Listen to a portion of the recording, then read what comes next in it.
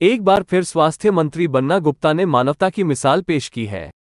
सोमवार को बहरगोड़ा से जमशेदपुर आने के क्रम में उन्होंने देखा कि सड़क दुर्घटना में एक व्यक्ति घायल हो गया है। उन्होंने संवेदना का परिचय देते हुए अपना काफिला रुकवाया और स्वयं अपने हाथ से घायल व्यक्ति को अपने स्कॉट वाहन के जिप्सी के माध्यम से जमशेदपुर के एमजीएम अस्पताल भिजवाया। ये मंत्री जी बहरावाड़ा जा रहे थे किसी काम में तो उनको एक रोड एक्सीडेंट दिखा।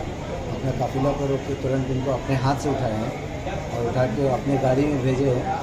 लेकिन और हम लोग को फ़ोन भी की कि तुरंत ओ टी वगैरह रेडी कर लीजिए तो हम लोग यहाँ पे सारा कुछ रेडी करके रखे थे ऑक्सीजन वगैरह। लेकिन ब्रॉड डेड केस है। डॉक्टर लोग ट्राई किए सीबीआर वगैरह भी दिए लेकिन उनको उनको बचा नहीं पहचान हो पाई है पहचान इनका नाम इनके जो कार से दिख रहा है वो प्रदीप कुमार कार हैं।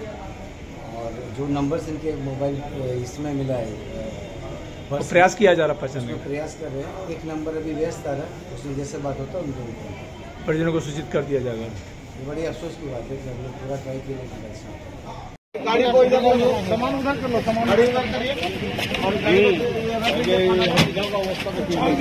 गाड़ी नहीं है चलो इसको इसको लेके लेके चलो जल्दी। संतोष से यहाँ पहले बड़ा हॉस्पिटल पहुँचा दो। एक दिन वायरलेस है फ़ोन करो। लगा दे फ़ोन सर उठाने दो चलिए आप आगे बढ़िए ना। अपने राज्य से जुड़ी हर ताज़ा खबरों के लिए आप हमें सब्सक्राइब करें साथ ही बेल आइकन बटन दबाना ना भूलें।